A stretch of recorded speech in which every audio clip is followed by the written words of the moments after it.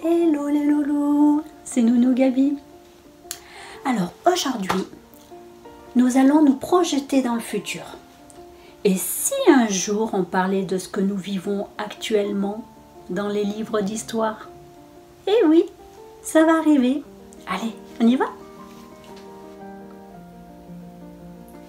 Ça n'était jamais arrivé. D'après les dessins de Marguerite de Livron et les textes de Paul de Livron, sous Kamishibai raconté par Nounou Gabi.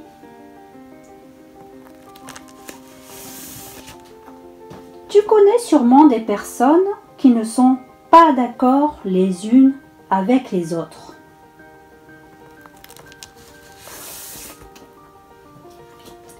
Et qui ont des avis différents.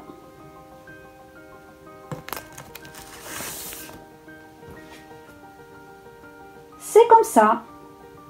Mais souvent, dans le passé et encore aujourd'hui, ces désaccords ont conduit des gens à des situations terribles, comme des guerres, des séparations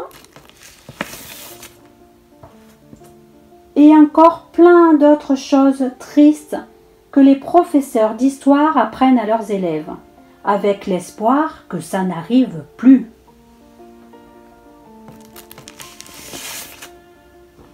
Ce que nous vivons à ce moment, avec Coco le virus et sa bande d'affreux super-héros, fera un jour aussi partie de l'histoire et sera enseigné dans les écoles aux élèves du futur.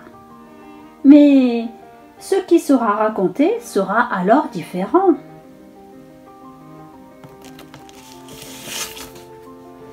On racontera que pour la première fois, L'ennemi n'était pas quelqu'un avec qui on n'était pas d'accord ou pas du même avis, mais on racontera cette petite chose invisible à l'œil nu. On racontera que pour la toute première fois, tous les pays du monde ont lutté ensemble contre le même ennemi. Racontera que les habitants de tous les pays du monde ont été courageux et qu'avec le travail de tous leurs super-héros, ils ont fini par vaincre leur ennemi commun.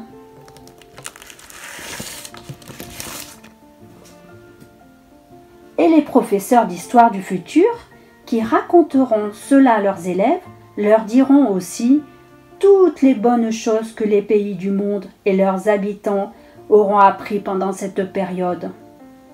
Et toi, que voudrais-tu que les professeurs du futur apprennent à leurs élèves? Ciao les loulous